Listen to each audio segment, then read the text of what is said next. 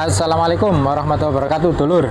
Alhamdulillah kemarin banyak yang tanya terkait padi ketan atau beras ketan dulur ya. Jadi kalau padi ketan di daerah Lamongan atau daerah Mantub ini yang banyak dikembangkan adalah ketan jenis, jenis genja. Umurnya kurang lebih hanya sekitar 75 hari setelah tanam. Ya rasanya juga enak gurih ya terus dia juga tahan kering. Nah yang paling penting itu dulur. Yang paling penting itu adalah ketan ini cepat panen ya dan juga relatif tahan kering. Nah bagaimana kondisi gabah atau e, bulir beras ketannya? Ayo dulur tak ajak tak lihatkan ya. Ini barangkali teman-teman masih banyak yang membutuhkan beras ketan atau padi ketan lokalan yang selama ini banyak dikembangkan di daerah Mantub, Lamongan bagian selatan. Oke, mari kita lihat. Nah, ini dulur. Ini adalah bentuk dari beras ketan genjahnya dulur. Nah, ini yang membedakan dengan jenis beras biasa ya. Kalau beras biasa bening, tapi kalau beras ketan itu nah ini dulur. Putih susu ya.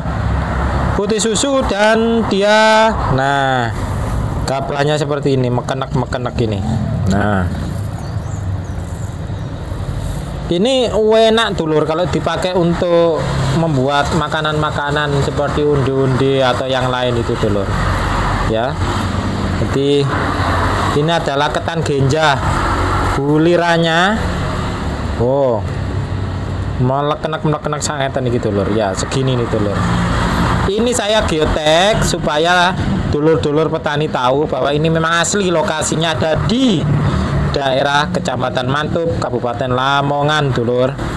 Ya, dan ini adalah update terbaru tanggal 11 Juni 2024 jam sekitar setengah dua.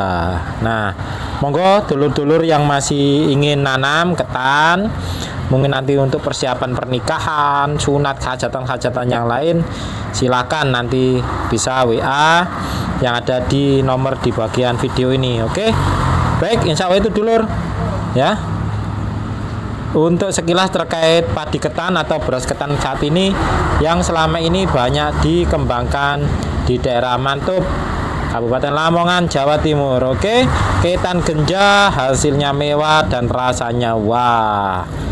Oke, salam seduluran dari petani Agromas Lamongan. Assalamualaikum warahmatullahi wabarakatuh.